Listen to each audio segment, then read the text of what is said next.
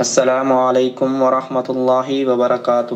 وعلیکم السلام صاحب امید ہے آپ۔ خیر و عافیت سے ہوں گے۔ ٹھیک ہوں اللہ کا شکر میں پاکستان سے ہوں میرا تعلق ضلع جلمکسی بلوچستان سے ہے۔ ماشاء اللہ شیخ صاحب میرا سوال یہ ہے کہ دعا کے اختتام میں چہرے پہ ہاتھ پھیرنا سنت سنت سے ثابت ہے یا نہیں ہے؟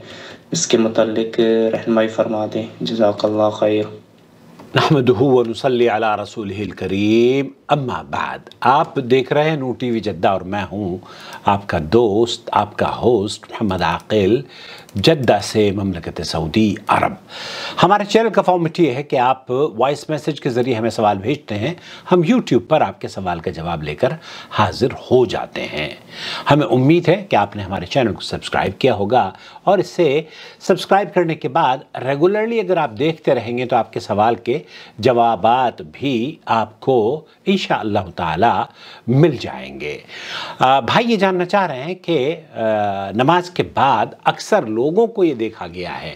پہلی بات تو یہ کہ نماز کے بعد جو اجتماعی دعا ہے، سب لوگ سلام پھیرنے کے بعد دعا کرتے ہیں۔ اور پھر بہت سے لوگوں کی تو عادت یہ ہے کہ دعا کرتے بھی نہیں ہیں، لیکن ان کی عادت یہ ہو جاتی ہے، السلام علیکم ورحمۃ اللہ، السلام علیکم ورحمۃ اللہ اور یہ ایسے کرتے ہیں۔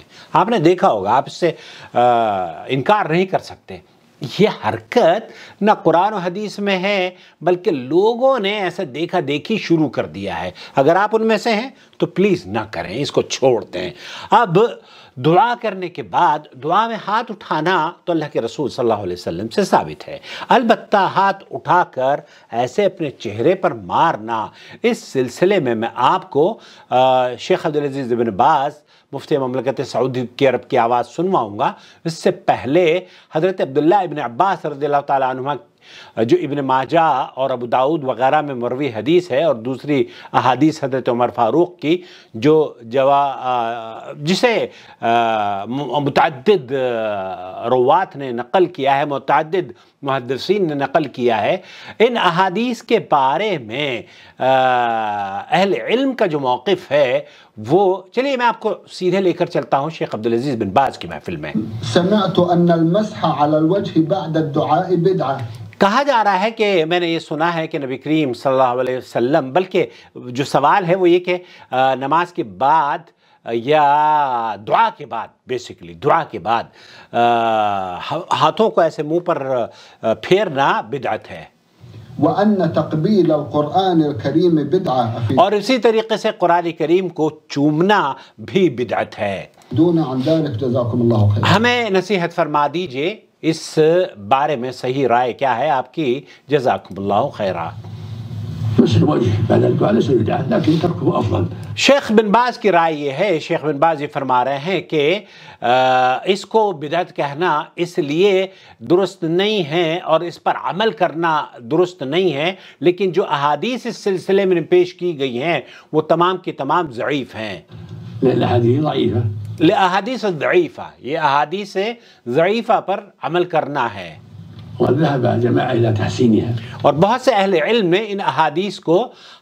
حسن کے درجے میں قرار کیا ہے. لأنها من باب الحسن لغيره. من باب الحسن لغيره. كما ذكر الحافظ الحجر رحمه الله في آخر بلوغ المرام. بلوغ المرام میں بھی حافظ ابن حجر وغيرہ نے اس کو حسن لغيره کہا ہے. وذكر ذلك آخرون. فمن فمن رآها من باب الحسن استحب المسح اگر آپ کی تحقیق یہ ہے کہ اس کو آپ حسن کے درجے میں لیتے ہیں ان احادیث کو اور آپ سمجھتے ہیں کہ یہ حسن احادیث ہیں تو استحب المسح تو پھر مستحب ہے اور یہ مستحب۔ اور اگر کوئی یہ سمجھتا ہے اور ان محققین کی رائے کا اعتبار کرتا ہے جو کہ یہ کہتے ہیں کہ یہ حدیثیں ضعیف ہیں، تو پھر مستحب نہیں ہیں۔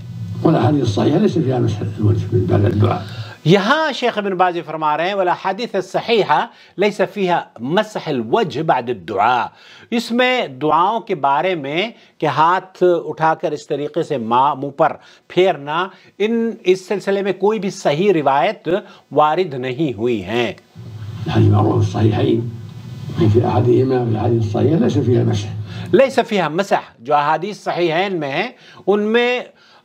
مسح کی تذکرہ نہیں ہے کہ آپ نے مسح یا اپنے چہرے پر مسح اپنے چہرے پر ہاتھ پھیرے ہوں۔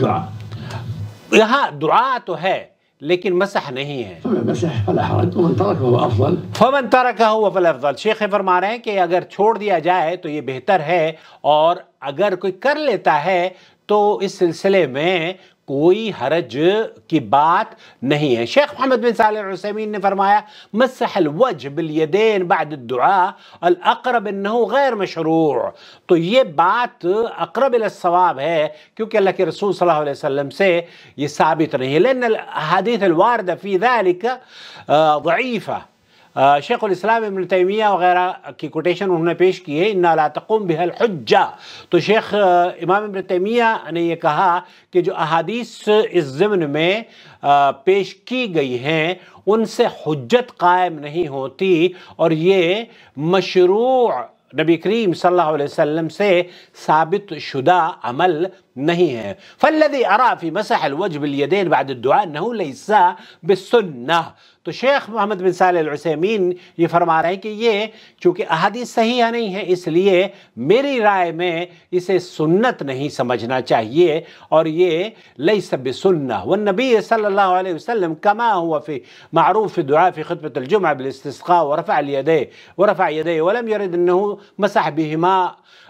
آپ علیہ السلام والسلام کا بعض مقامات پر دعائیہ کلمات کہتے ہوئے خطبہ وغیرہ میں یا استسقاء میں ہاتھوں کا اٹھانا تو ثابت ہے، لیکن آپ علیہ السلام سے یہ ثابت نہیں ہے کہ آپ نے دعا کے بعد اس طریقے سے اپنے چہرے پر مسح کیا۔ وَكَذَلِكَ فعدة حَدِيثَ جَاتَ عَنْ نَبِي صلی اللہ علیہ اِنَّهُ دُعَاءُ ورفع يديه ولم يثبت انه مسح. تو یہاں شیخ محمد بن صالح العسیمین بھی یہی بات کہہ رہے ہیں کہ اللہ کے رسول صلی اللہ علیہ وسلم سے صحیح سند کے طور پر کوئی بھی حدیث وارد نہیں ہوئی ہے۔ لہذا لا شرع بس الوجہ بعد الدعاء۔ دعا کے بعد ہاتھوں کو اپنے منہ پر پھیرنا یہ نبی کریم صلی اللہ علیہ وسلم سے تو ثابت نہیں ہے۔ ولم يثبت انه كان يمسح وجهه بعد اور اس طرز پر چونکہ اللہ کے رسول صلی اللہ علیہ وسلم کی کوئی بھی حدیث، صحیح حدیث نہیں ہے، تو یہ اللہ کے رسول صلی اللہ علیہ وسلم کی طرف منسوب کر کے عمل کرنا اور اس کو ثواب کا حصہ سمجھنا درست نہیں ہے۔ شیخ محمد بن صالح العثیمین کی رائے میں اور علماء کی، بلکہ امام امام ابن تیمیہ فرماتے ہیں، وَأَمَّا رَفْعَ النبی صلی اللہ علیہ وسلم يَدَيْهِ فِي الدُّعَا فقد جَا فِي حدیث کثیرہ تو دعا میں ہاتھ اٹھانا تو اللہ کے رسول صلی اللہ علیہ وسلم سے صحیح حدیث سے ثابت ہے۔ وَأَمَّا مَسَحْ وَجْهَهُ بِيَدَيْهِ فَلَيْسَ عَنُهُ۔ فِيهِ حدیث او حدیثان اس سلسلے میں ایک دو روایات آتی ہیں اور ان روایات میں چونکہ ضعف ہے، اس لیے انہیں ان پر عمل نہیں کیا جانا چاہیے۔ لیے یہی زیادہ درست عمل ہے۔ اللہ سے دعا ہے کہ اللہ رب العالمین ہمیں صحیح احادیث پر عمل کرنے والا بنائے اور اللہ کے رسول صلی اللہ علیہ وسلم کی سیرت کے مطابق نماز پڑھنے والا بنائے سعودی عرب کی جو فتوہ کمیٹی ہے، اس کا فتوہ بھی یہی ہے کہ دعا کے بعد منہ پر ہاتھ پھیرنے کے بارے میں سنن ابن ماجہ اور سنن ترمزی میں جو روایات مروی ہیں، وہ تمام کی تمام ضعیف ہیں۔ لہذا یہ کوئی قولی یا فعلی سنت نہیں ہے۔ بس ایسا کرنا، نہ کرنا افضل اور اولا ہے۔ تو میرے خیال سے آپ کو وضاحت ہو گئی ہوگی والسلام علیکم ورحمت اللہ وبرکاتہ آپ کا بھائی محمد عاقل جدہ سے مملکت سعودی عرب وما أرسلنا من قبلك إلا رجالا نوحي إليهم فاسألوا أهل الذكر إن كنتم لا تعلمون بالبينات والزبر وأنزلنا إليك الذكر لتبين للناس ما نزل إليهم ولعلهم يتفكرون.